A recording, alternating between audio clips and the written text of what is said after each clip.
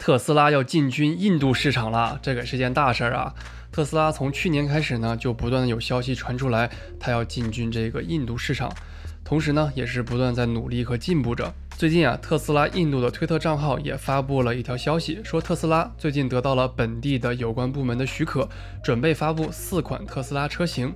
具体是什么，没有更多的信息，但估计呢是 Model 3和 Model Y 以及它们的变体。这期视频呢，我们来聊一聊特斯拉在印度市场的潜在可能，面对的挑战是什么，以及特斯拉印度在全球扮演一个什么样的角色。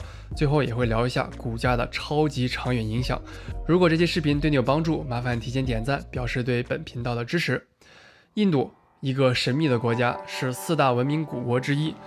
印度的文明史呢，可以追溯到公元前三千年前。印度的国土面积大约为二百九十八万平方千米，耕地面积为一百五十三点五平方千米，是亚洲耕地面积最大的国家。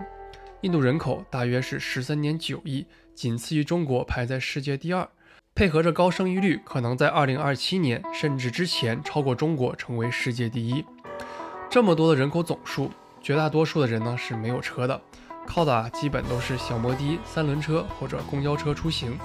即使这样，印度还是全球第五大的汽车销量国，前四分别是中国、美国、德国还有日本。每一千个人中，大约有二十二个人拥有车。然而，二零二零年的统计数据表明，二百四十万台的车的销售里，电动车只占五千台。豪华车的市场呢，更是小之又小。特斯拉在这样的环境里会有机会吗？为了弄清楚这个问题啊，我查阅了很多资料，其中呢看到一个 CNBC 在今年三月份做了一个视频，标题是“特斯拉在印度能成功吗？”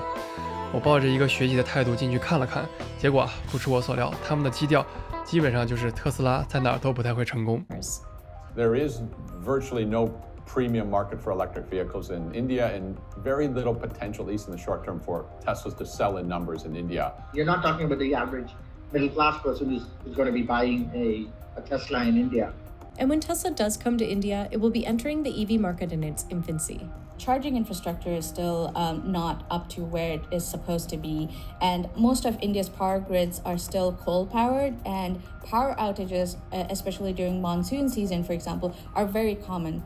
Some of its signature features may not be available either a lot of technologies that Tesla does have may not work in India. Things like autopilot and autonomous driving and those kind of features and auto change lane features. 视频里他们说啊，豪华车市场很小，特斯拉在短时间之内估计卖不出去几台，加上经常性的季风暴雨，充电网络呢也无法摊开，很多科技，比如自动驾驶也无法实现。虽然他们的结论我不完全赞同，不过他们的观点呢，我也是吸收了的。让我想起来小时候忘了在哪听到一个故事啊，说有两个推销员想去非洲卖鞋，当他们得知非洲人本身的习惯是不穿鞋的，就喜欢光脚走，其中有一个就打了退堂鼓，说：“哎呀，他们没有穿鞋的，我在那儿怎么可能有市场啊？”另一个就会说：“天哪，他们那里没有人穿鞋，那里每一个人都是我的市场。”这可能就是世界观不同导致的结论不同吧。为了更具体的分析呢，我收集了以下数据，请各位看官做好扶稳。一辆美国产的特斯拉 Model 3，在什么配置都不加的情况下，售价大约是三万九千九百九十，算四万美金吧。运输、进口关税、消费税，咱们暂且都不算。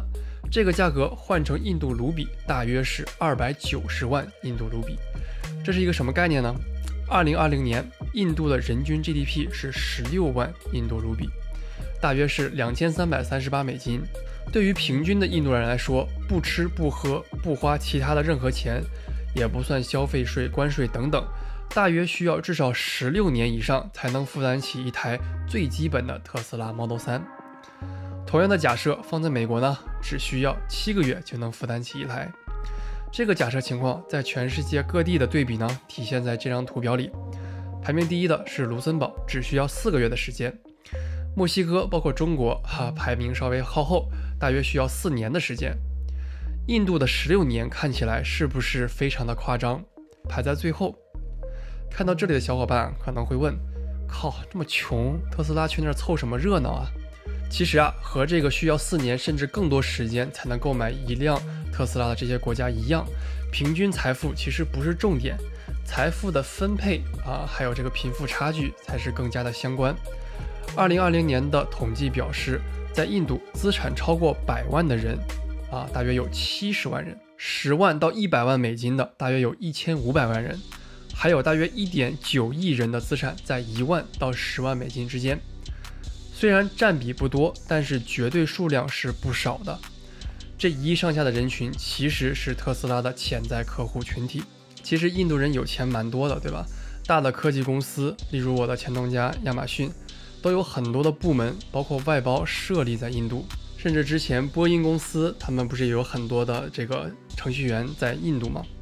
由于语言的优势，还有相对低廉的人工成本。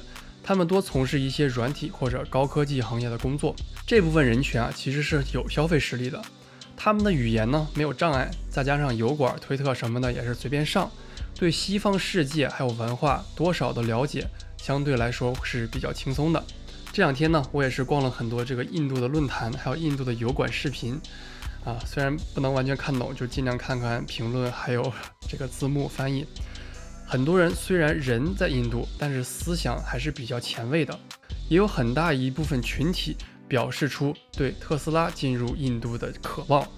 比如这位五百万粉丝的印度博主叫 Madan Goria，就在推上喊话马斯克，说请尽快在印度发布特斯拉。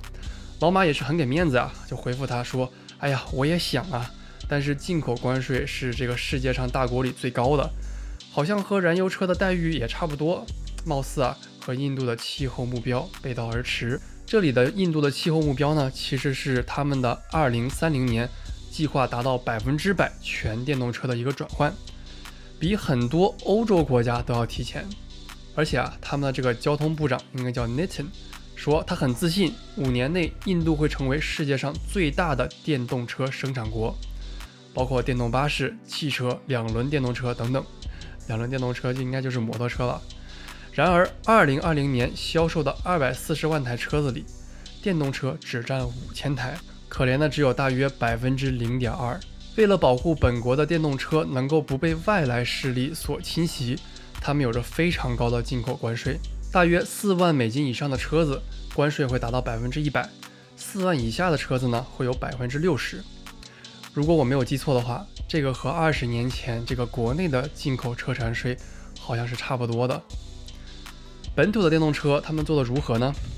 现在啊，他们最大的这个电动车企在班加罗尔，叫做 Mahindra Electric，目前呢只有一个型号，叫做 e Verito，迄今为止卖出六千台左右。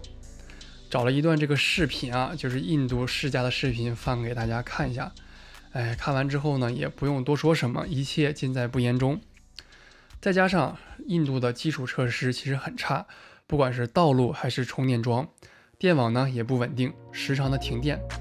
你让一个见过世面的、喜欢特斯拉的、有钱的印度本地人如何下手去买这样的电动车呢？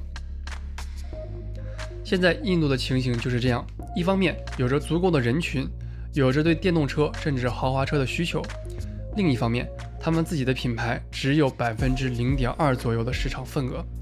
再加上二零三零年还有一个百分之百电动车的一个目标需要达成，我不知道你们怎么认为。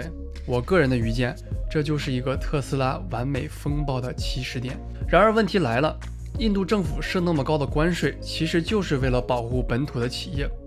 马斯克的特斯拉凭什么那么容易让他进来呢？